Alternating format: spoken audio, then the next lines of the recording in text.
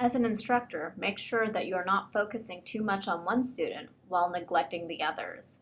This instructor is focused on the student in front of him and fails to notice that the student next to him is not doing any work. He pulls out his books and then just hands them to him.